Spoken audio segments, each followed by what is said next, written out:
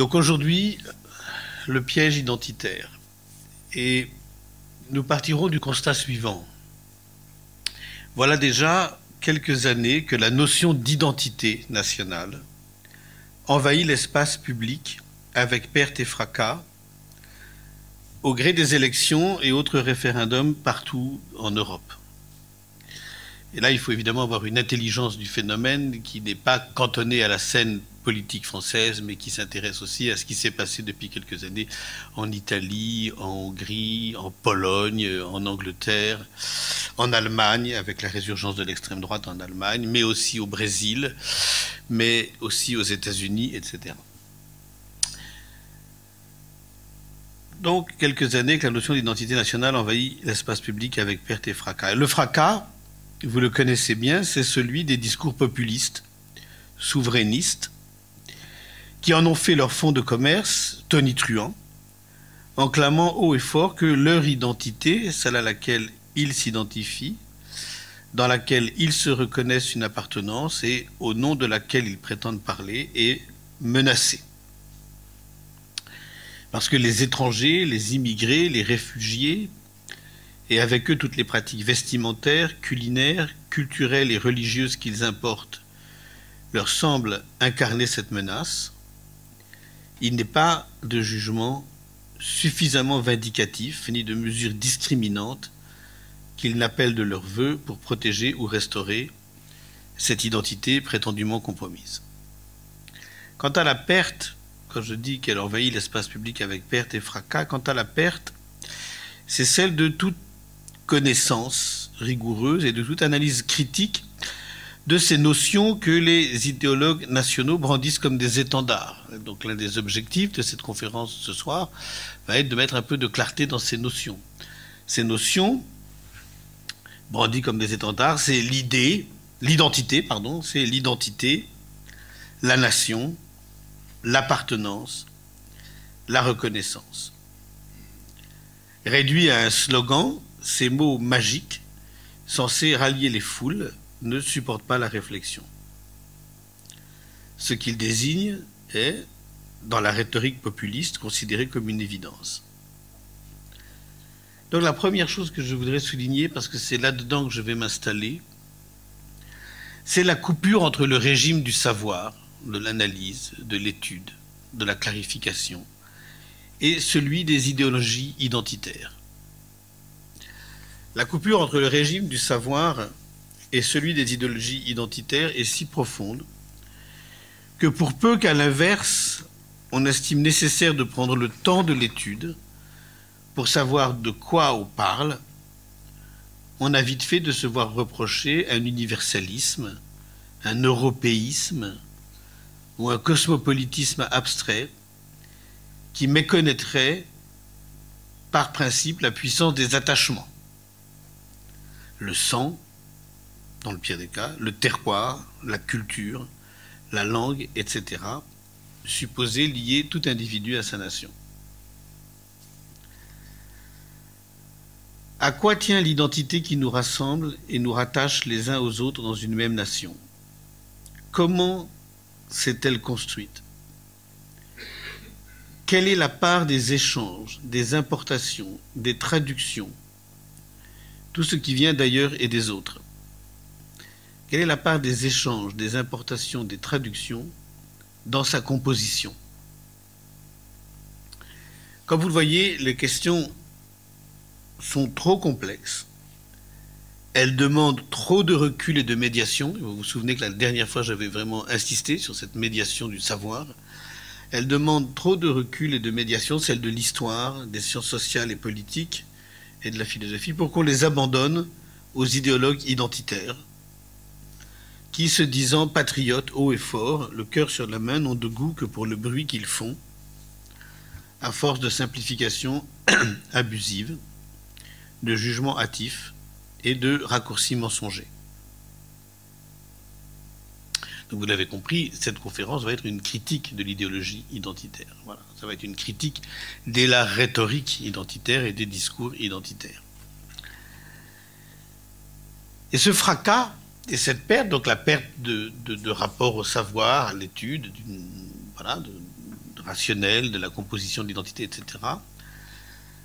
Et le fracas, c'est celui euh, donc des discours identitaires. Ce fracas et cette perte, je voudrais essayer de montrer dans les réflexions que je vous proposerai ce soir qu'ils se définissent par une quadruple toxicité.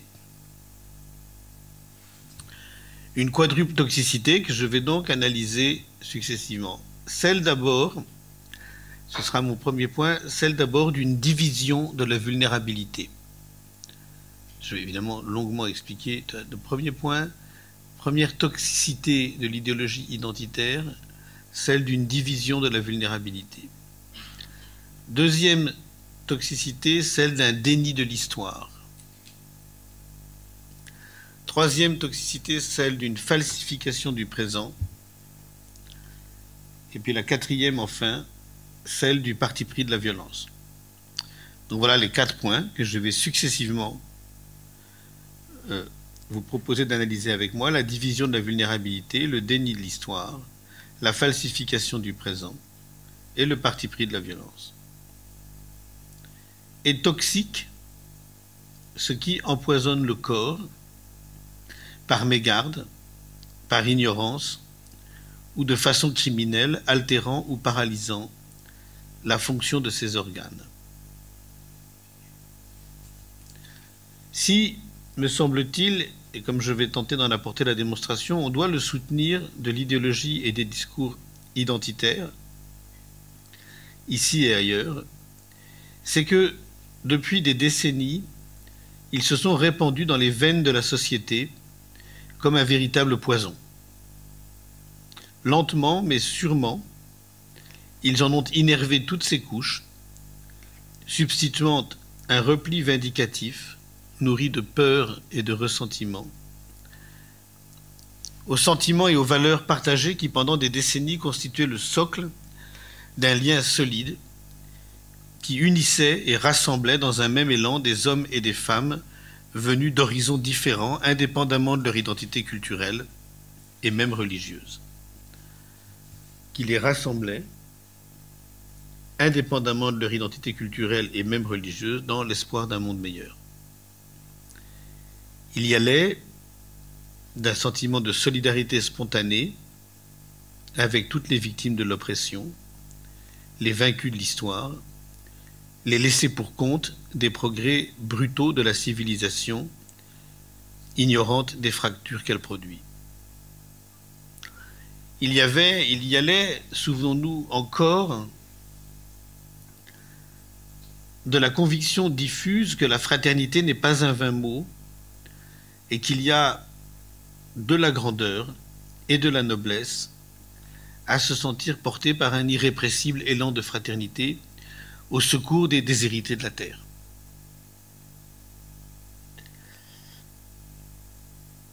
Et j'ai l'impression d'avoir grandi encore dans les années 70, 80, etc., à un moment où ce discours-là, ces idéaux-là, ces valeurs-là avaient encore une vraie force de conviction. Eh bien, l'idéologie identitaire est un poison parce qu'ils sont trop peu nombreux aujourd'hui ce qu'indigne à la fois la succession des naufrages en Méditerranée, conséquences meurtrières des politiques migratoires européennes, et les conditions indignes et proprement inhumaines de parquage des réfugiés dans des camps de fortune. Elle a envenimé les consciences, cette idéologie identitaire, au point de leur faire admettre, comme une évidence, qu'il y avait des limites à l'accueil et que celles-ci étaient depuis longtemps dépassées, qu'à secourir donc davantage d'hommes et de femmes de mœurs et de cultures différentes, c'est leur identité qu'ils mettraient en péril. Ce n'est pas autrement que sous les coups de boutoir d'une culture identitaire de la peur et de l'ennemi, parce que c'est ça l'idéologie identitaire, c'est une culture identitaire de la peur et de l'ennemi. J'y viendrai plus longuement si vous le souhaitez. Ce n'est pas autrement que sous les coups de boutoir d'une culture identitaire de la peur et de l'ennemi, il est devenu usuel, ordinaire, et pour ainsi dire dans l'ordre des choses et l'ordre du monde, que l'abandon de milliers d'êtres humains à leur sort tragique fasse l'objet d'un consentement meurtrier.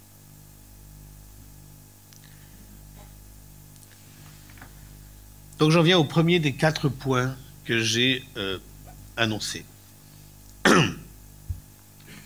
la division de la vulnérabilité. Cette conversion des valeurs, c'est-à-dire la substitution du repli sur soi et d'un ressentiment vindicatif à l'exigence de solidarité attentive et de fraternité généreuse. Eh bien, cette conversion des valeurs n'est pourtant pas sans raison. N'est pourtant pas sans raison, et l'on aurait tort de se contenter, et je ne m'en contenterai pas, d'incriminer les idéologies identitaires et leurs mensonges populistes sans s'interroger sur la responsabilité de leur succès. Donc il ne suffit pas, évidemment, d'incriminer les idéologies identitaires euh, qui ont montré qu'elles pouvaient gagner des élections hein, en Hongrie, en Italie, en Pologne, euh, peut-être demain en France, je ne sais pas. Il ne suffit pas simplement de les incriminer, il faut savoir, il faut aussi être capable de comprendre pourquoi elles, euh, elles ont du succès.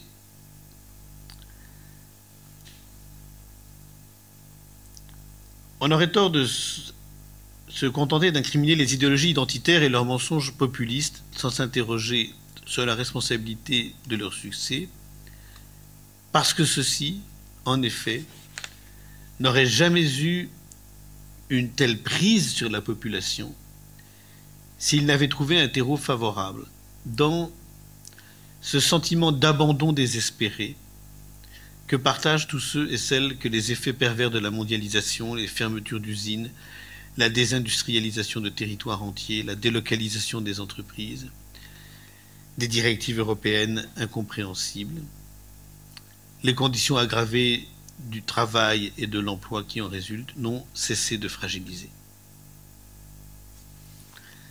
Depuis maintenant quelques décennies. Autrement dit, c'est parce que dans tous les pays européens, des taux de chômage que les sociétés européennes ne s'imaginaient pas capables de supporter ont été depuis longtemps dépassés et que désormais, en temps de lieu, la précarité se transmet comme un héritage de génération en génération.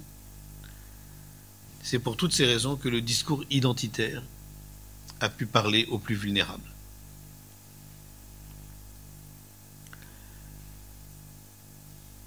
Il y est parvenu pour deux raisons. La première tient au ressort psychologique que Freud a longtemps analysé dans un livre que j'ai déjà cité ici, qui est Malaise dans la civilisation. Un livre qu'il faut tout le temps relire et reméditer parce que c'est un livre qui n'a vraiment rien perdu de son actualité. Malaise de la civilisation qui est écrit euh, au début des années 30, c'est-à-dire quelques mois, quelques années, quelques mois à peine avant l'arrivée de Hitler au pouvoir. La première tient au ressort psychologique que Freud a longtemps analysé dans Malaise dans la civilisation, il compte ces ressorts psychologiques parmi les ressources qui rendent les guerres possibles, à commencer par celles qui se réclament d'une défense de l'identité nationale. Qu'est-ce que c'est ces ressorts psychologiques? Eh bien, se canalise très bien Freud dans Malaise dans la civilisation c'est que lorsqu'une société n'est plus en mesure de compenser par des avantages matériels les sacrifices pulsionnels qu'elle exige de ceux qui se plient à ses règles, elle n'a d'autre solution à leur offrir en guise de compensation que l'idéalisation et la sublimation de leur appartenance. Donc je vais répéter ce point parce que c'est un point évidemment absolument décisif lorsqu'une société, et essayer de le transposer à plein de scènes, lorsqu'une société n'est plus en mesure de compenser par des avantages matériels les sacrifices pulsionnels qu'elle exige de ceux qui se plient à ses règles, elle n'a d'autre solution à leur offrir en guise de compensation que l'idéalisation et la sublimation de leur appartenance. Ça veut dire que lorsque une société, un gouvernement n'est pas en mesure de répondre à la détresse matérielle, aux détresses économiques, sociales, financières, à la précarité, à la grande pauvreté, à l'impression de déclassement de catégories entières de la population, euh, la seule issue qu'il a, c'est de compenser, c'est ce qu'analyse Freud, par l'idéalisation et la sublimation de l'appartenance et de l'identité. Donc ça veut dire que dans le fond, les ressorts de l'idéologie identitaire fonctionnent exactement en parallèle avec l'augmentation de l'insécurité matérielle, de la détresse, de l'anxiété de l'avenir, de la précarité, etc. La logique identitaire, pour le dire autrement, devient par ce biais une force politique à laquelle peu de gouvernements et de partis ont la force de résister. Leur façon d'y céder est d'abord d'enjoindre ceux auxquels ils sont incapables de procurer des conditions d'existence meilleures d'aimer leur identité dans ce qui la différencie des autres et d'en être fiers pourra rien vous donner. On va pas vous aider à vivre mieux. Hein. On va pas vous aider à avoir des emplois, à en avoir pour vos enfants, à, diminuer votre insécurité mondiale. Mais on va défendre votre identité. Mais on va vous faire aimer, on va vous prouver que votre identité, on l'aime. C'est ça la compensation. Eh bien, la façon d'y céder est d'enjoindre ceux auxquels ils sont incapables de procurer des conditions d'existence meilleures, d'aimer leur identité dans ce qui la différencie des autres et d'en être fier. C'est ce que Freud appelle, et c'est tellement vrai, le narcissisme des petites différences. L'expression qu'il a, le narcissisme des petites différences. Si on n'a pas ça en tête, par exemple, on ne comprend pas les guerres dans les Balkans. Donc quand même un certain nombre d'entre nous ont été contemporains des grandes guerres des début des années 1990. Pourquoi tout à coup entre la Croatie, la Bosnie et la Serbie, on a pu voir des gens qui étaient les voisins d'hier, qui partageaient les fêtes, les mariages, les, baptêmes, et tout ce que vous voulez, se faire la guerre au point de commettre les uns contre les autres des atrocités abominables euh, euh, dont on n'a pas encore fini de prendre la mesure. Eh bien, au nom de ce narcissisme des petites différences. Donc, leur façon d'y céder est d'abord d'enjoindre ceux auxquels ils sont incapables de procurer des conditions d'existence meilleures d'aimer leur identité dans ce qui la différencie des autres et d'en être fier. Ça, c'est le narcissisme des petites différences. Elle est ensuite de leur promettre de protéger cette différence, celle des mœurs, de la langue, des coutumes, des traditions, des repères calendaires, des fêtes, etc., contre tout ce qui pourrait la menacer, à commencer parce qu'il leur sera toujours commode de désigner et de décrire comme une invasion étrangère. Ainsi, la protection de l'identité se sert d'elle de l'idéalisation et de la sublimation de l'appartenance à une culture donnée comme d'un alibi de son impuissance. Comme d'un alibi de son impuissance. C'est aussi d'ailleurs pourquoi est-ce qu'elle est tellement déceptive. C'est aussi pourquoi elle est très très souvent déceptive. Parce que dans le fond, bout d'un moment, quand euh, un peuple s'est livré pieds et poings liés euh, à des leaders populistes identitaires et qui découvrent au bout de quelques années que ça n'a rien changé à leur situation, qu'ils vivent pas mieux matériellement, qu'ils n'ont pas plus de compensation qu'ils n'en avaient euh, avant, la déception est inéluctable. Je, me demande, par exemple, puisque là, je me demande, par exemple, je comment, il faut quelques années pour le voir, comment euh, euh, euh, les classes populaires qui ont voté en Angleterre pour le Brexit, qui ont voulu le Brexit, qui l'ont demandé en pensant que c'était la panacée à leurs conditions sociales et qu'ils allaient enfin y trouver, avec le Brexit, en sortant de l'Europe et en retrouvant une souveraineté pleine de l'Angleterre,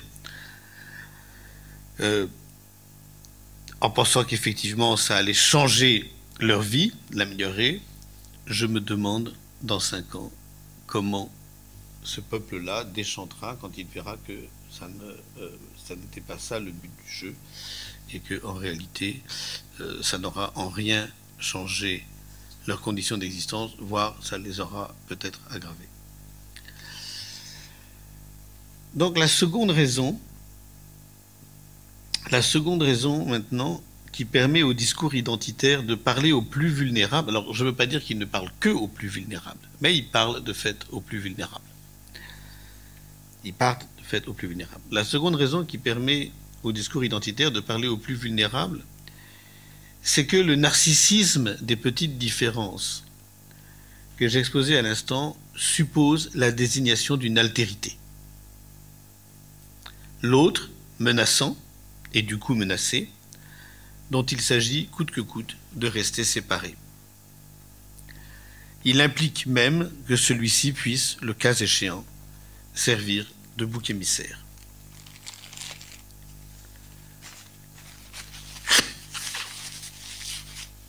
L'appartenance, en effet, est d'autant plus idéalisée et sublimée que tout ce qui n'est pas elle, les autres cultures et la culture des autres, est dévalorisée et par là même repoussée. Alors je ne parle pas de choses abstraites là, hein. je ne suis pas du tout en train de parler de choses abstraites parce que dans les cas extrêmes, on sait les violences que ce mécanisme rend possible. J'ai parlé des guerres dans les Balkans, mais il y a plein d'autres conflits dans le monde, micro-conflits, dont on pourrait euh, parler, qui euh, l'exemplifient. Il n'y a pas de voie ni de moyen que les peuples s'interdisent ou dont ils soient exempts pour mettre en œuvre cette répulsion, exclusion, stigmatisation, discrimination, pogrom, etc. L'histoire du XXe siècle est faite de ces mesures-là. Ce que je veux dire par là, ce que je suis en train de mettre, sur quoi je suis en train de mettre le point là, c'est que, c'est que dans le fond, la logique identitaire, quand elle, quand elle instrumentalise cette chose terriblement explosive qu'est le narcissisme des petites différences, efficace et explosive, la logique identitaire est toujours susceptible de se faire génocidaire. Et il y aura toujours quelques supercheries à faire mine de l'ignorer comme si l'on était protégé par les leçons du passé. Moi, je crois qu'on n'est pas protégé par les leçons du passé. Je crois que tout peut encore revenir. Je crois que c'est... voilà, je pense que les grands défis que les sociétés démocratiques aujourd'hui vont avoir à affronter dans les années qui viennent. Alors, je n'avais pas pensé aux défis sanitaires, hein. j'avais pensé aux défis climatiques, etc. Mais le défi sanitaire, peut-être, hein, euh, peut-être que l'an prochain, je reviendrai et que je parlerai de l'épidémie et de choses comme ça. Euh, euh, ces grands défis-là vont évidemment donner du grain à moudre aux logiques identitaires. Et les logiques identitaires, eh bien, il y aura toujours quelques supercheries à faire mine d'ignorer qu'elles sont toujours susceptibles de se faire génocidaire. Et encore une fois, et je pense que personne ne l'a oublié ici, souvenons-nous de la rapidité avec laquelle, je le rappelais à l'instant, dans les Balkans, il y a un quart de siècle, les voisins d'hier sont devenus les bourreaux du lendemain. Et donc pour désigner ce risque, je forgerai un mot valise. Les philosophes adorent faire des mots valises comme ça. Et je parlerai de logique génocidentitaire.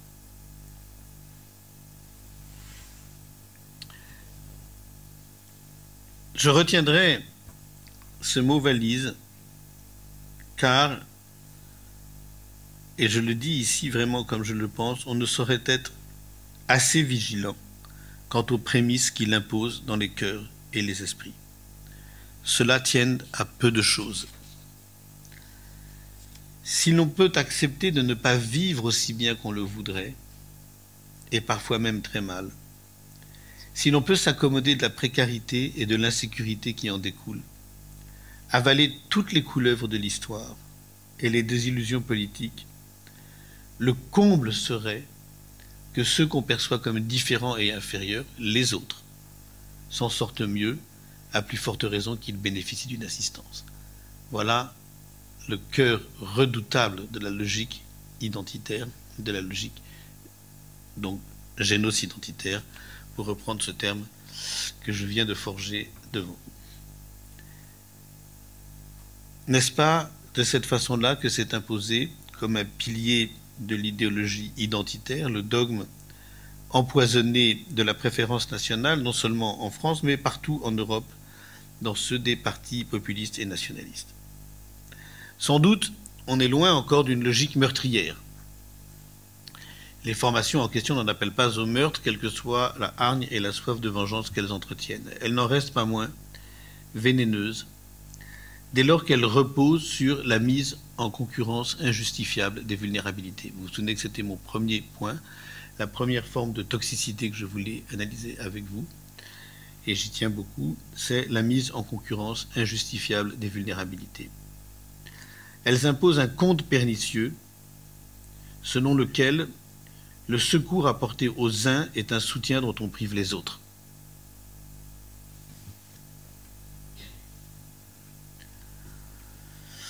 Que ce calcul soit destructeur, rien ne l'atteste davantage que la réaction de la quasi-totalité, sinon des peuples européens dans leur totalité, du moins de leurs dirigeants, anticipant à tort ou à raison leur réaction hostile pour faire face à un afflux de migrants sans précédent.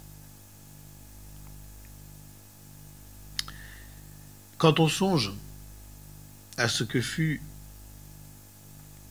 l'errance des peuples européens jetés sur les routes d'Europe à plusieurs reprises au XXe siècle, et à tous ceux qui durent fuir leur pays, et quémander ailleurs un accueil et un refuge, on est en droit de s'indigner d'une mémoire si courte. On est en droit de s'indigner d'une mémoire si courte. La brutalité haineuse des passions identitaires aura renvoyé aux oubliettes de l'histoire aussi bien le droit d'asile et le devoir d'hospitalité que l'exigence de fraternité sur laquelle s'est construite jadis l'identité de l'Europe. Moi, je fais partie de ceux qui, euh, en 1989 et au début des années 90, se sont euh, réjouis de la chute du mur de Berlin, se sont réjouis euh, progressivement de voir un certain nombre de nations européennes rentrer dans le giron de l'Europe, faire partie de la communauté européenne, la Pologne, la Roumanie, la Bulgarie. Et je fais partie de ceux qui ont été sidérés de voir que, à peine, disons, échappé de ce système totalitaire qui était quand même les démocraties populaires euh, euh, des années 60, 70, etc., à peine échappé, euh, dans le fond, l'issue politique, l'issue politique, ça a été tout de suite des régimes populistes, nationalistes, identitaires très forts, avec la réaction que l'on sait face à la crise des migrants toutes ces dernières années. J'en viens maintenant j'ai annoncé, vous vous en souvenez, euh, quatre Donc la première, on voit très bien ce que c'est, c'est la concurrence des vulnérabilités. La seconde, c'est le déni de l'histoire.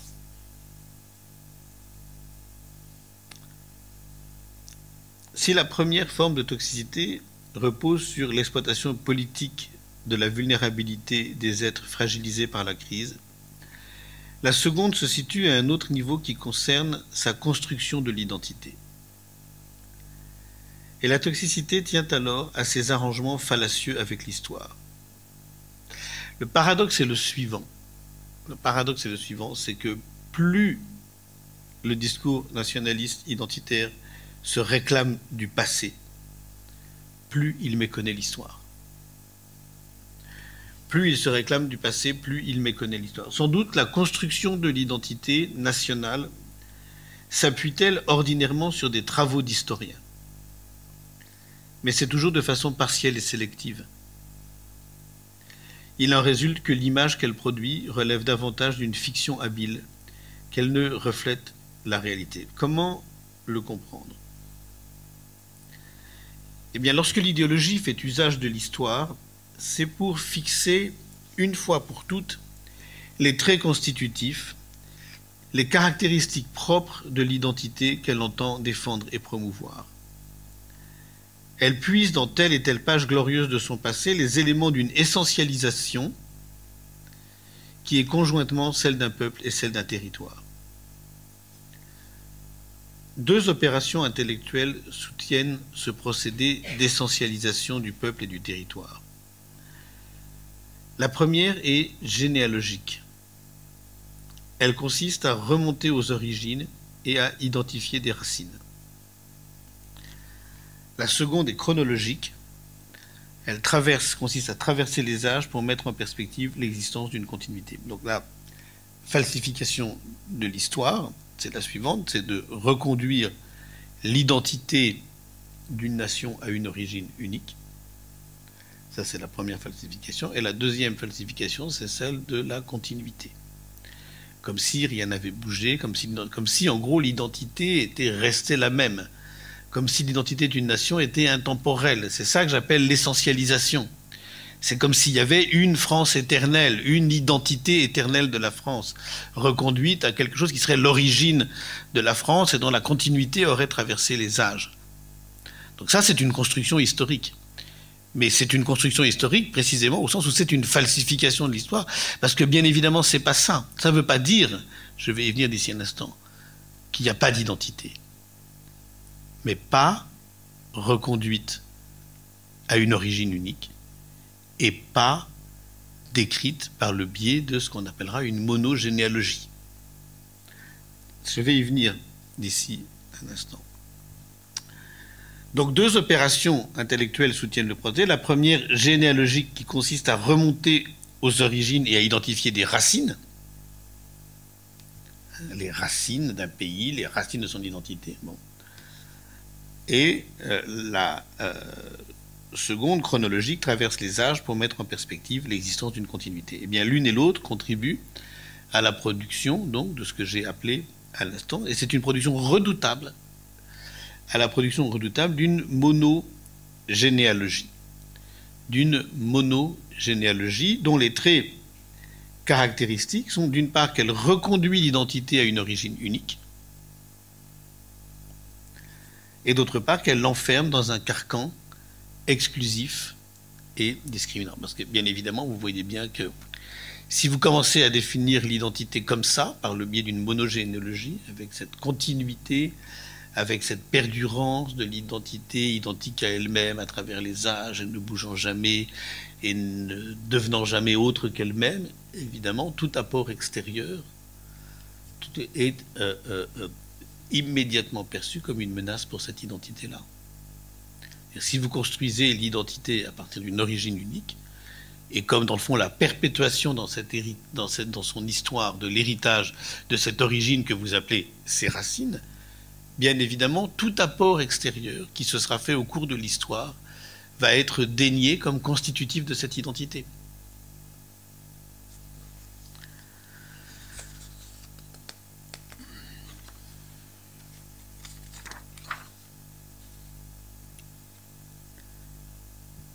Cette assignation, cette assignation originelle, hein, l'idée voilà que les nations ont une origine, des racines, qu'il a fallu préserver tout au long de l'histoire, que cette assignation originelle et l'enfermement qui en découle soit porteur de catastrophes. Eh bien, l'histoire elle-même ne manque pas de nous le rappeler. Nombreuses sont les populations qui en ont fait la tragique expérience. Chaque fois que ces idéologies identitaires auront été en mesure d'imposer leur vue et de se traduire en politique au cours des deux derniers siècles. C'est peu dire que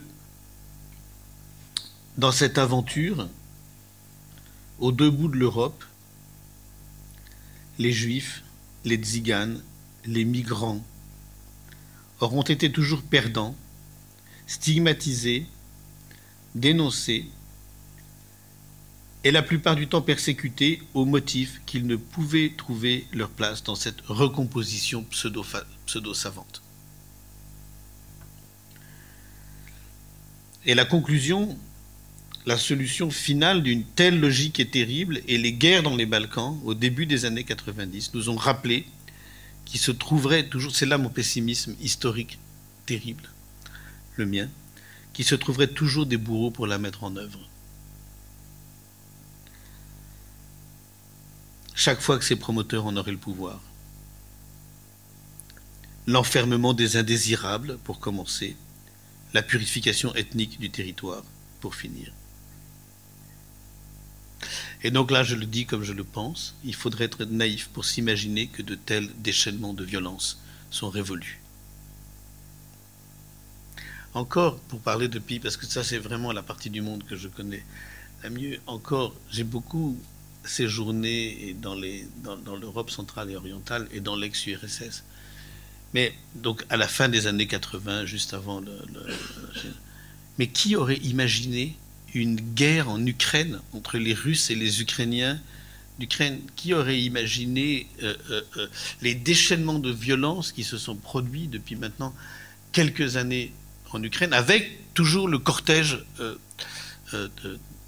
d'atrocités que l'on connaît, le viol des femmes comme arme de destruction massive, les destructions, le, massacre des hommes, etc. Donc, ça veut dire, on ne peut pas ne pas réfléchir sur l'instrumentalisation politique qu'on fait encore aujourd'hui de la notion d'identité et de la notion de racine et de la notion d'origine, etc. On ne peut pas réfléchir à ces notions-là et aux invocations de l'histoire au nom desquelles euh, euh, euh, on instrumentalise ces notions sans se rappeler l'utilisation meurtrière des fictions identitaires. L'utilisation meurtrière des fictions identitaires restera longtemps encore autant un instrument de la conquête du pouvoir que le moyen le plus efficace de sa conservation. Et comme ça marche, ça a de quoi nous inquiéter. Il faut peu de temps à un dictateur ou un apprenti dictateur pour s'en rendre compte. Une fois que l'idéologie identitaire a empoisonné les consciences, le bénéfice qu'il peut en tirer est considérable. D'une part, elle lui permet de flatter le peuple dans ses passions négatives, gagnant sa faveur sur le dos de ceux qu'il fait ou laisse persécuter. D'autre part, l'action qu'il mène au service de l'identité lui sert de cache-misère. Encore une fois, qu'on songe à l'est de l'Europe aux atrocités de la guerre civile identitaire qui déchire le peuple ukrainien, et que dire de la persécution des identités religieuses et culturelles minoritaires au Proche-Orient, sous le regard complice et désintéressé des autorités, là je pense aux chrétiens d'Orient et d'autres choses comme ça. Alors pourquoi s'agit-il maintenant, parce que je rappelle que la deuxième forme de toxicité, je l'ai appelée le déni de l'histoire. Pourquoi s'agit-il d'un déni de l'histoire? Parce que à prendre au sérieux la question de l'identité, celle-ci ne saurait précisément être reconduite à une monogénéalogie. Une telle reconduction est par définition mensongère parce qu'il n'est aucune identité qui soit homogène. Et rien ne la définit moins qu'une prétendue origine et de euh, supposées racines. Au contraire, c'est dans de tels présupposés, encore une fois, dans de tels présupposés potentiellement meurtriers, que réside sa mystification. Quelle mystification? Quelle mystification? Quel présupposé? Eh bien, avant tout, ceux de l'unicité et de la fixité celle de l'unicité et de la fixité. Aucune identité culturelle n'est homogène et définitivement établie, parce qu'une identité culturelle n'est vivante que dans la mesure où elle ne cesse de devenir différente d'elle-même. Voilà pourquoi c'est un mensonge de l'histoire. L'identité française, elle n'a pas cessé de devenir différente d'elle-même. Elle n'a pas cessé de se modifier. Et on peut analyser, et on va essayer de le faire, de quelle façon. Mieux, mieux, on peut dire que c'est ce mouvement d'autodifférenciation qui la maintient vivante, la projetant en elle-même, loin d'elle-même, et lui donnant un avenir. Tout ceci, tout ceci n'a rien d'abstrait et relève tout ceci relève de la raison la plus élémentaire. Cela consiste, alors là, parce que c'est un point auquel je suis vraiment très euh, attaché, cela consiste ni plus ni moins à rendre droit au fait que toute identité est d'abord relationnelle. Qu'est-ce que ça veut dire? Alors, c'est vrai de n'importe quel. Là, je l'ai déjà dit, parce que je pense que j'en avais parlé dans les premières conférences. C'est-à-dire, c'est vrai, toute identité relationnelle. Ça, vaut, de toute identité singulière, subjective, individuelle. C'est-à-dire, nous sommes chacun singulièrement, individuellement, fait de l'ensemble des relations qui nous constituent, qui nous ont constitués depuis la naissance, avec ceux qui ont pris soin de nous, avec ceux que nous avons rencontrés, avec ceux que nous avons aimés ou que nous avons détestés ou que nous n'avons pas aimés, avec les espaces où nous avons vécu. Donc notre vie est faite de ces relations qui nous constituent. On n'est pas notre identité, on la tient pas de la naissance. Voilà, hop, je suis né et puis euh, je suis la singularité que je suis à la naissance. Non, la singularité que je suis, je la deviens au cours du temps et elle ne cesse de se modifier. Et ce qui me singularise, c'est l'ensemble, la variété, la richesse, le devenir propre de toutes ces relations qui me constituent. C'est pareil d'une identité collective. C'est pareil d'une identité collective. Ça veut dire que ce qui fait une, identité collective, c'est l'ensemble des relations qu'elle a entretenues avec ce qu'elle a défini, éprouvé, expérimenté, parfois combattu même, parce que ce n'est pas forcément pacifique, avec euh, comme ses altérités. Je vais faire deux parenthèses. L'identité européenne. L'identité européenne. Qu'est-ce que c'est? Est-ce qu'il y a une identité de l'Europe? Et qu'est-ce que c'est l'identité de l'Europe? L'identité de l'Europe, elle est doublement relationnelle. On ne comprend pas l'identité de l'Europe si d'abord on ne la rapporte pas à l'ensemble des échanges, des importations, des traductions euh, que les nations constitutives de l'Europe ont échangé entre elles. La circulation des idées, la circulation des formes artistiques, la circulation des institutions. Tous ces échanges-là, c'est ça qui a fait l'identité de l'Europe. L'identité de l'Europe, c'est pas l'identité de la France, plus de l'Allemagne, plus de l'Italie, plus de la Grande-Bretagne, plus de l'Irlande, etc., la Pologne, tout ce que vous voulez. L'identité de l'Europe, c'est l'ensemble de ce qui a circulé à l'intérieur de l'Europe. C'est l'ensemble de ce qui s'est traduit c'est euh, euh, ce bouleversement euh, lorsque Shakespeare est traduit en allemand. C'est ce bouleversement lorsque Dante est traduit dans toutes les langues européennes. Donc, c'est ce qui permettait aux très grands linguistes et aux très grands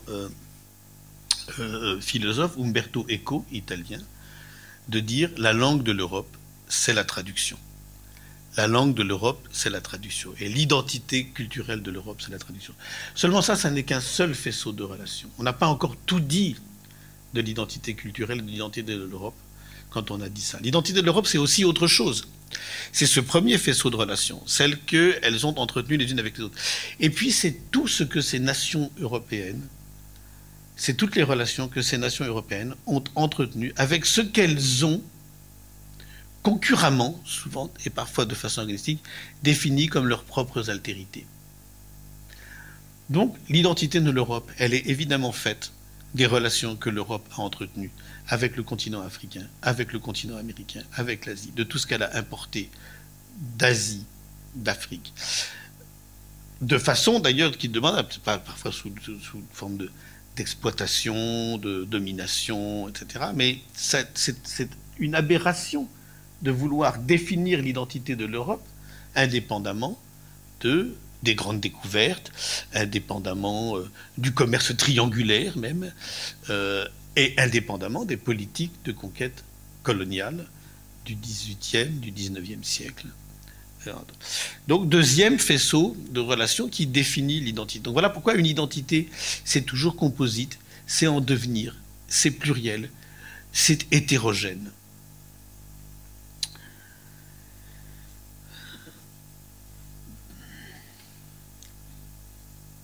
Donc,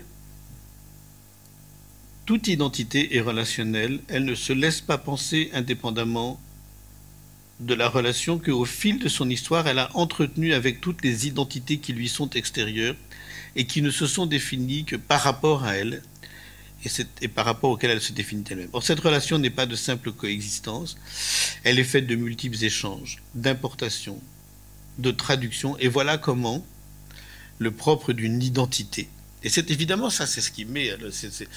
si je dis ça, c'est comme si je jetais du sel aux yeux du discours identitaire. Voilà comment le propre d'une identité consiste à se différencier d'elle-même.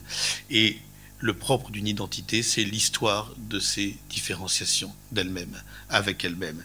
C'est l'histoire de cette auto-différenciation par laquelle elle reste vivante. Voilà comment le propre d'une identité consiste à se différencier d'elle-même par le biais de ce qu'elle s'approprie des autres cultures, assimile en le transformant, adapte à son contexte au fil du temps. Elle ne cesse de devenir l'autre d'elle-même. En un mot, elle se fait hétérogène. Encore un mot sur l'Europe. Sur l'Europe. Sur l'identité européenne. Dans les années 1920, Paul Valéry écrit, euh, Paul Valéry qui est un des plus géniaux philosophes du XXe siècle, Paul Valéry, un grand poète mais un très grand penseur, Paul Valéry écrit une note sur l'Europe et dans lequel il cède à un truc qui est un peu un topos de l'époque et qui n'a jamais cessé de l'être, qui est la fameuse question de l'identité de l'Europe. Et il commence à produire un premier geste intellectuel qui est extrêmement classique à l'époque, qu'on retrouve un peu partout, qui dit dans le fond, l'Europe se définit à partir de ces triples racines qui sont euh, la Grèce, euh, Rome et le christianisme. Donc déjà, énorme problème dans ces cas-là, c'est qu'on oublie, c'est que très souvent la Grèce, Rome, le christianisme, on oublie de dire que c'est pas seulement le christianisme, mais que c'est le judéo-christianisme. Évidemment, on fait l'impasse sur l'islam les croisades, euh, Cordoue, euh, l'Espagne, enfin il suffit de s'être un peu promené en Europe pour voir qu'il n'a pas fallu attendre les conquêtes coloniales pour que l'islam soit une partie de l'identité culturelle de l'Europe. Ou alors il, faut, y a beaucoup de monuments qu'il ne faut pas voir ou qu'il faut décider de ne plus voir. Bon.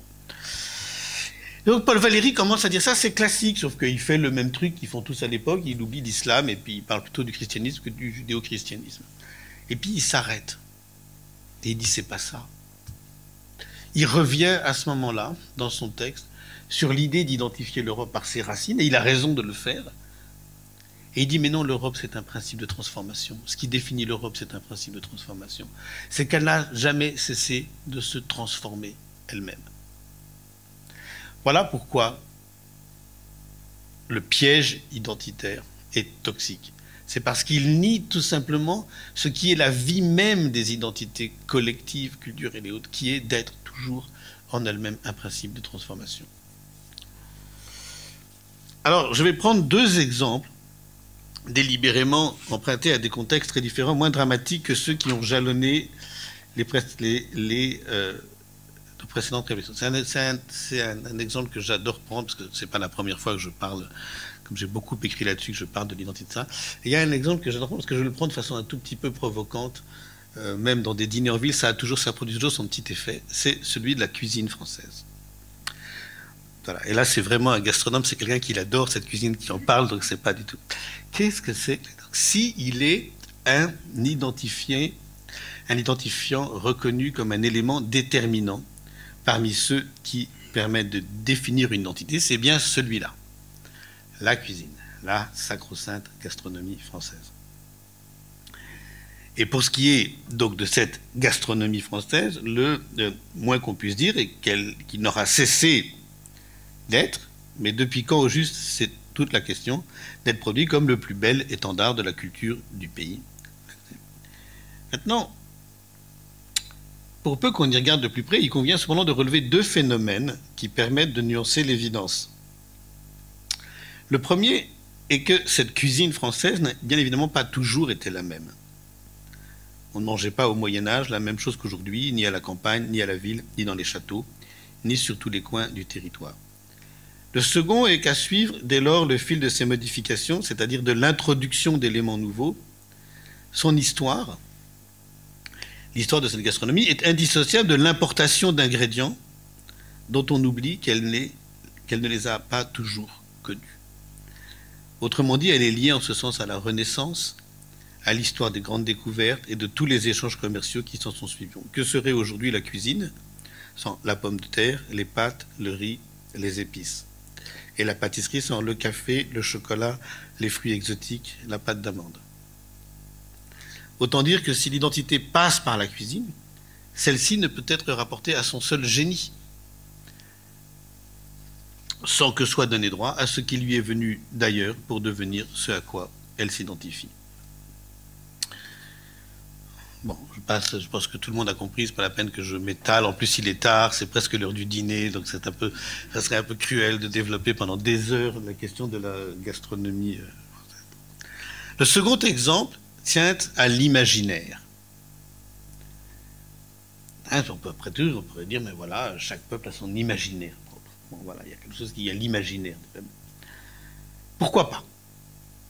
Et c'est pas faux, l'imaginaire est tellement lié à la langue, etc., qu'il y a vraiment plein de choses qui nouent l'identité à l'imaginaire et à la langue. Maintenant, l'imaginaire, à supposer que, supposer qu'on va garder un sens à l'expression, ce qui fait l'identité d'un peuple, à chaque moment de son histoire, ne tient pas seulement à une histoire partagée, à des dates symboliques, à des repères calendaires, des fêtes, etc., mais plus largement encore à la constitution d'un imaginaire collectif dans lequel les arts plastiques, la musique, y compris les chansons d'ailleurs, la littérature et le cinéma ont une large part. C'est peu dire alors que sa composition, la composition de l'imaginaire, ne connaît pas de frontières. Cela est vrai des individus autant que des communautés. Rien de ce que nous nous approprions, de ce que nous assimilons, tous ces sons, ces fictions et ces images que nous nous incorporons et qui deviennent individuellement et collectivement une part de ce que nous sommes, ne se laissent enfermer dans les frontières étanches d'une culture déterminée. Notre imaginaire musical, il est fait de plein de musiques qui ont été importées, plein de danses qui ont été importées, notre imaginaire pictural aussi, notre imaginaire littéraire aussi, et que dire de l'imaginaire cinématographique? Ça veut dire que notre culture, celle qui nous définit, celle dans laquelle... Évidemment qu'elle est hétérogène. Évidemment qu'elle est faite de choses que, à la fois collectivement et puis aussi individuellement, nous nous sommes euh, appropriés. Moi, il y a un truc qui m'a fasciné, quand, il, y a, il y a maintenant longtemps, parce que maintenant ils sont grands, il y a un truc qui m'a fasciné avec mes enfants qui ont maintenant entre 25, euh, un peu plus autour de 25 ans. C'est, il y avait quelque chose dans, la construction de l'imaginaire enfantin. Je ne sais pas si vous, il y a quelque chose qui a déboulé pour les enfants. Donc là, c'est des enfants du début des années 2000, etc. 2005, 2000, enfin. C'est tout à coup l'imaginaire. Euh, euh, dans l'imaginaire de Walt Disney, c'est-à-dire standardisé, américain, etc., tellement prégnant, concurrencé par un imaginaire japonais. C'est l'arrivée, par exemple, pour, leur génération, quelque chose qui n'est pas la mienne. Moi, c'est les films de Miyazaki. Je ne sais pas si ça vous dit quelque chose à quelques-uns d'entre vous, les grands, grands films de Haruo Miyazaki. Et puis, pour la génération encore plus jeune qu'eux, quand je vois la place qu'occupent dans leur imaginaire les mangas japonais de ça c'est nouveau. Ben voilà, donc ils ont un imaginaire qui n'est pas le même qui s'hétérogénise, qui importe, qui a importé d'autres choses qui n'étaient pas présentes dans l'imaginaire de euh, notre génération. Vouloir faire comme si tout ça n'existait pas pour sauver une prétendue identité culturelle à laquelle ne correspond plus aucun imaginaire, en réalité, c'est évidemment là où je dis qu'on est uniquement dans l'idéologie. Donc qu'est-ce que ça veut dire? Ça veut dire donc, encore une fois, rien de ce que nous nous approprions, de ce que nous assimilons, tous ces sons ces fictions et ces images que nous incorporons et qui deviennent individuellement et collectivement une part de ce que nous sommes, ne se laissent enfermer dans les frontières étanches d'une culture déterminée. Tout au contraire est poreux. Et c'est cette porosité, c'est ce qu'il y a de plus précieux. Qu'on ne nous l'enlève pas. Qu'on ne se mette pas à expurger les salles de cinéma, les bibliothèques, les, les programmes scolaires. Qu'on ne nous enlève pas cette porosité, cette pérosité c'est ce qui permet à chacun d'inventer sa propre singularité. Autant dire que toute identité culturelle est plurielle. Les images, les mélodies, les récits que nous sommes susceptibles de partager avec d'autres parce que nous les avons faites nôtres viennent de partout. Troisième forme de toxicité maintenant, la falsification du présent. Hein, donc vous vous rappelez, le premier, la concurrence des vulnérabilités, ça c'est très très très politique, hein, c'est vraiment comme ça que ça fonctionne. Le deuxième, donc le déni de l'histoire, le déni de l'histoire en tant qu'elle est plurielle, hétérogénéisante, etc. Troisièmement, la falsification du présent. Là, on est à nouveau dans ce qui est très dur historiquement et politiquement, parce que, euh, euh, parce que vous l'aurez déjà compris dans ce que j'ai dit juste avant, le déni de l'histoire, c'est aussi la falsification réactive du présent. Le propre des idéologies identitaires aux quatre coins de l'Europe et des populismes qui s'en inspirent, ce n'est pas en vérité de vouloir protéger une identité en péril, mais de vouloir, au besoin par la force, donner vie au fantasme d'une réalité qui n'a jamais existé. C'est pourquoi elles se nourrissent d'un inextinguible ressentiment contre le temps et plus encore contre le, contre le présent.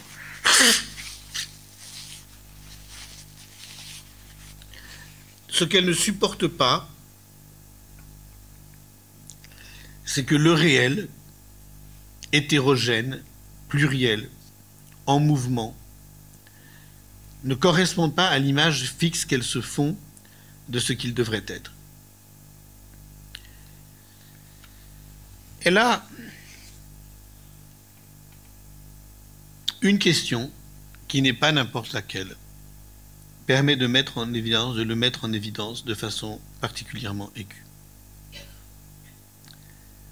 Il s'agit de l'islam, de la place des cultures musulmanes en Europe et dans les sociétés européennes. Parce que, soyons honnêtes, qu'on ne s'y trompe pas, si la question de l'identité est redevenue depuis quelque temps le fond de commerce de formations politiques qui font de sa sauvegarde ou de sa restauration un élément de leur propagande et de leur programme, c'est que ce profil en toile de fond la hantise qu'ils exploitent à l'envie d'une islamisation de la société. Deux facteurs l'ont aggravé ces dernières années. Le premier est la menace terroriste et le traumatisme des attentats qui ont frappé non seulement le territoire français, notamment à Nice, Paris, mais Londres, Bruxelles, Berlin également, sans compter leur répétition quotidienne au Moyen-Orient. Et le second est l'afflux massif de migrants venus de Syrie, de Libye, d'Irak, de Somalie, pour échapper à la guerre et à, misère, et à la misère. Ça veut dire que sur la question de l'identité, c'est greffé en conséquence celle de la sécurité, mêlant la peur à la xénophobie avec une force inédite. Parce que la violence qui a ciblé les capitales européennes s'est réclamée d'une vision intégriste et meurtrière de l'islam. Il n'a pas fallu longtemps pour que ce soit l'ensemble des musulmans, leurs pratiques cultuelles et leurs règles vestimentaires qui soient perçues et présentées comme une menace pour des valeurs et des principes, la tolérance et la laïcité, supposées incarner dans les sociétés européennes l'héritage des Lumières. Ainsi a-t-on vu ressurgir comme après les attentats du 11 septembre 2001, la théorie du choc des civilisations du politique, du politologue Samuel Huntington. Socle inébranlable, la théorie du choc des civilisations, socle inébranlable de la nouvelle configuration des idéologies identitaires, cette théorie du choc des civilisations soutient que les relations internationales, comme vous le savez, sont désormais gouvernées non plus par l'idéologie, comme au temps de la guerre froide, mais par un conflit inéluctable entre des blocs civilisationnels incompatibles, à commencer par la civilisation islamique et l'Occident chrétien.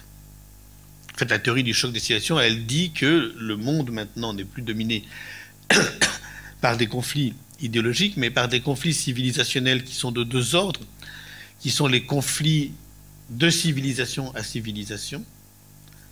Hein, donc la civilisation euh, euh, chinoise, bouddhique, etc., la civilisation islamique, la civilisation européenne, ça c'est un premier type de conflit, et que l'autre type de conflit, ce sont les conflits à l'intérieur d'une civilisation pour savoir quelle est la nation qui va prendre le leadership euh, à l'intérieur d'une civilisation donnée. Donc ça c'est, ça, c'est le schéma décrit par Huntington. Et euh, ce que veut dire tout simplement cette théorie, qui n'a d'autre effet que de développer les prémices d'une culture de la peur et de l'ennemi, c'est que tout ce qui, en Europe et aux États-Unis, n'est pas de culture judéo-chrétienne, au sein des sociétés occidentales en tout cas, doit être perçu comme un danger potentiel. Du coup, en accueillant les migrants de culture islamique sur leur territoire, ces mêmes sociétés ne feraient rien d'autre dès lors qu'introduire dans la place, sinon un ennemi déclaré, du moins un ennemi potentiel. Et là, je n'ai pas besoin de vous faire taille, il y a tellement d'idéologues qu'on entend sur toutes les chaînes de télévision pour développer la théorie du grand remplacement, etc. etc. Donc voilà, toutes ces idéologies qui sont véritablement inspirées de cette euh, théorie de euh, Samuel Huntington. La première chose qu'on peut dire, c'est que évidemment, évidemment, et moi je ne jette jamais la pierre à personne, et vous l'aurez compris, je cherche à comprendre. Je veux même chercher à comprendre comment on peut être séduit par des théories aussi tordues et aussi redoutables surtout. Évidemment, on conçoit le pouvoir de séduction qu'exerce sur des esprits ébranlés par une irruption de la violence inédite, hein, celle du terrorisme, une théorie délivrant une grille d'interprétation du monde et des tensions qui le traversent aussi simple. Elle présente le double avantage de cloisonner de façon prétendument étanche des identités et de réaffirmer et de réaffirmer par la même occasion la supériorité morale et politique, la supposée supériorité morale et politique de l'Occident chrétien sur l'islam. Son aveuglement identitaire présente pourtant l'inconvénient de constituer une double dénégation de la réalité. Et c'est pour ça que je parle de falsification du présent. La première tient euh, au fait que la culture islamique ne peut être tenue, ne peut être tenue pour étrangère à l'identité des sociétés européennes. Elle ne l'a jamais été, tant il est vrai que depuis les croisades, les échanges ne se sont jamais interrompus mais surtout la constitution des empires coloniaux, suivie de leur décomposition, a entrelacé l'histoire des pays du Moyen-Orient, du continent africain et de l'Asie du Sud-Est avec celle de l'Europe. Elles ont fait des migrations sur le continent européen une part incontournable de son histoire. On ne compte pas les institutions, les œuvres d'art, les récits qui en témoignent. Peu importe qu'on le déplore, qu'on le regrette, qu'on s'en alarme ou s'en réjouisse, les faits sont là. L'islam fait partie de l'identité culturelle de l'Europe.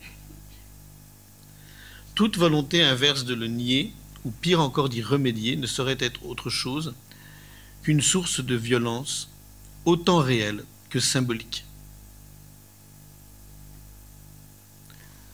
La seconde dénégation tient au fait que la religion islamique est elle-même profondément divisée traversée de forces contradictoires. En conséquence, aussi assourdissante et vindicative soit-elle, c'est une infime minorité des musulmans qui a déclaré la guerre à l'Occident. Mais il est vrai que toute la stratégie de cette minorité est d'enfermer les communautés et les sociétés dans un piège identitaire, vouant chacune à comprendre l'autre et à la désigner comme son ennemi. Voilà le poison. Il est vraiment là le poison. Sa toxicité consiste à nouer dans une trame serrée les fils meurtriers d'une culture de la peur et d'une culture de l'ennemi. Dans le fond, j'ai coutume de le rappeler, je l'ai dans le, dans le livre qu'a rappelé tout à l'heure Stéphane, où je parle beaucoup de ça, qui s'appelle donc Inhumaine Condition, et dans celui écrit juste avant qui s'appelle L'épreuve de la haine, j'avais décrit cette logique-là d'une formule qui est terrible. Et je crois que je l'ai rappelé peut-être même, je ne sais pas si je ne l'ai pas rappelé dans une des conférences précédentes. Ce qui définit cette toxicité-là, c'est, l'injonction. C'est l'injonction qui est censée prendre tout le monde en otage.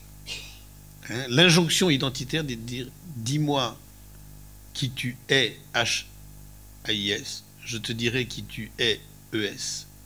Et si tu es ES, celui que tu dois être. Dis-moi qui tu es, HIS, et je te dirai qui tu es, ES. Et si tu es ES, évidemment, la deuxième partie est encore plus importante que la première, parce que la, prise en otage, c'est la deuxième. C'est ça les guerres génocidaires. C'est comme ça que fonctionne, si vous lisez un tout petit peu tous les récits du génocide rwandais, c'est comme ça. Non, non, mais attention, si tu es un vrai Hutu, dis-moi si tu détestes Hatse les Tutsis et si tu es prêt à les tuer pour être un vrai Hutu Prouve-moi que tu es vraiment celui que tu dois être, etc. Dernier point,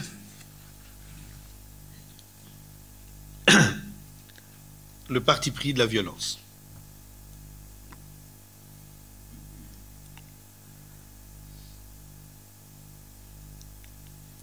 Cette double culture de la peur et de l'ennemi, cette double culture de la peur et de l'ennemi, c'est ce qui donne son ton et son style si caractéristique au discours identitaire, de Bolsonaro à Trump en passant par Salvini et tant d'autres. Un ton et un style fait de véhémence,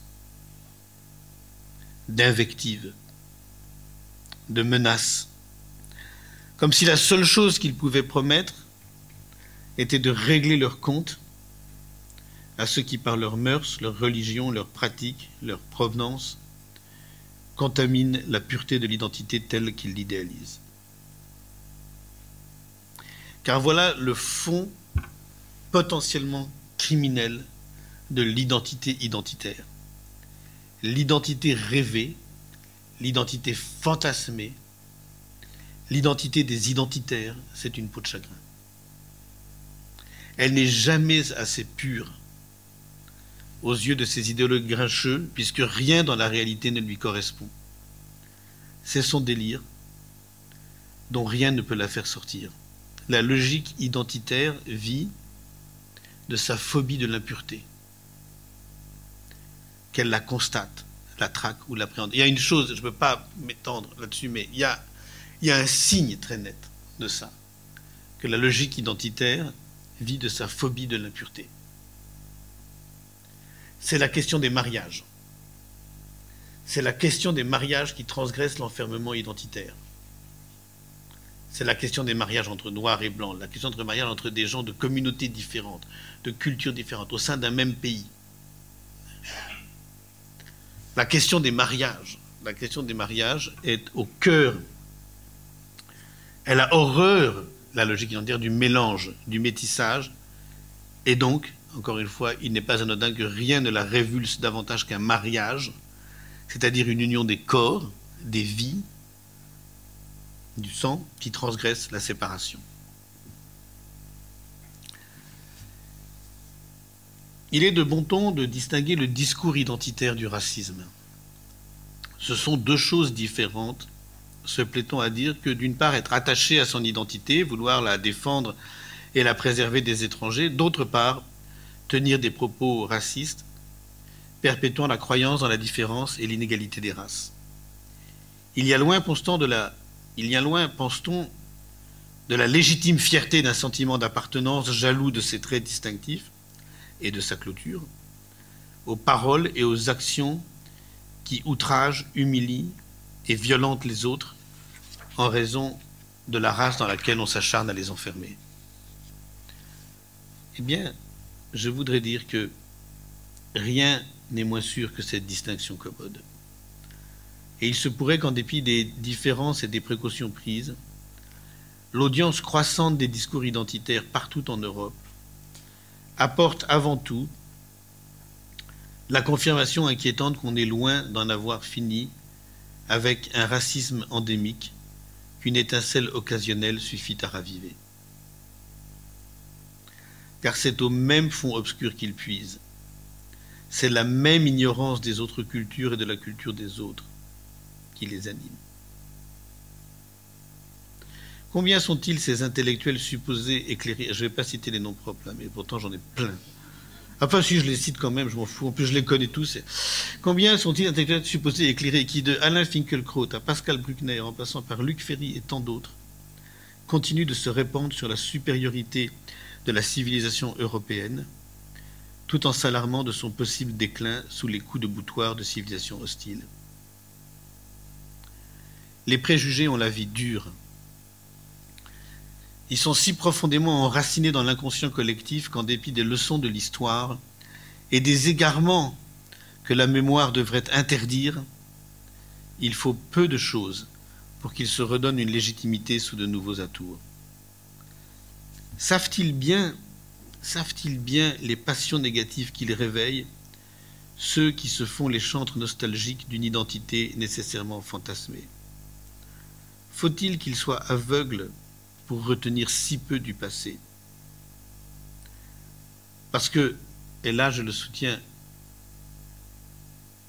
vraiment, il n'y a jamais eu d'invocation de l'identité nationale, communautaire, de quelque ordre qu'elle soit, il n'y a jamais eu d'invocation de l'identité qui, loin de soulager la misère des hommes, n'ait au contraire accru leur malheur. Loin d'être clair, rationnel, mesuré, c'est toujours la confusion, la déraison et l'excès qui la caractérisent.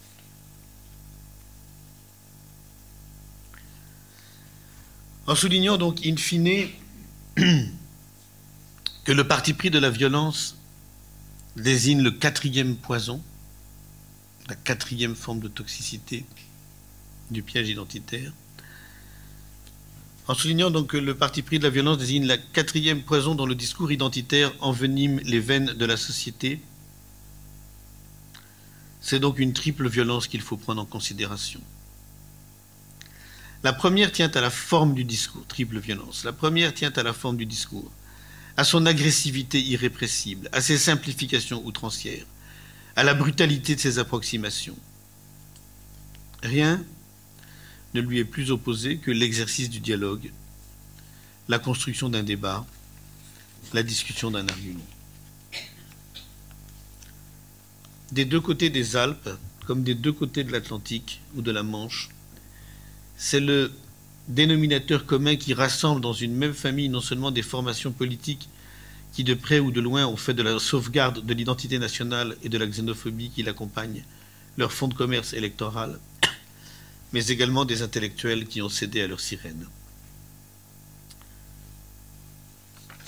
Ça, c'est la première forme de violence, elle est dans la forme même, dans le ton même, dans ce que s'autorise le discours, ce à quoi il s'autorise lorsqu'il est pris dans ce piège idéologique. La seconde forme de violence tient au contenu. Parce que la conception que les uns et les autres se font de l'identité monogénéalogique, comme tout ce que j'ai décrit depuis un peu plus d'une heure, parce que la conception que les uns et les autres se font d'identité est exclusive et discriminante, elle est par essence violente. On connaît l'ambivalence en français de la notion d'humanité, qui désigne aussi bien l'ensemble des hommes, toute appartenance confondue, qu'un traitement réservé à l'autre qui peut prendre la valeur d'une injonction, comme lorsqu'on demande que l'étranger, le prisonnier, le migrant, le malade soient traités avec humanité. Mais les deux ne sont pas séparables. Ces deux sens ne sont pas séparables.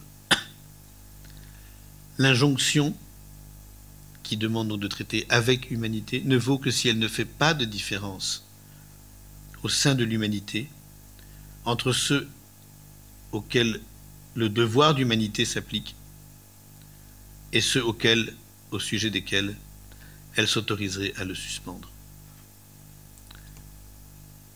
Dès qu'on divise l'humanité, comme l'idéologie identitaire revient toujours à le faire, on ouvre la porte à des pratiques et des traitements inhumains.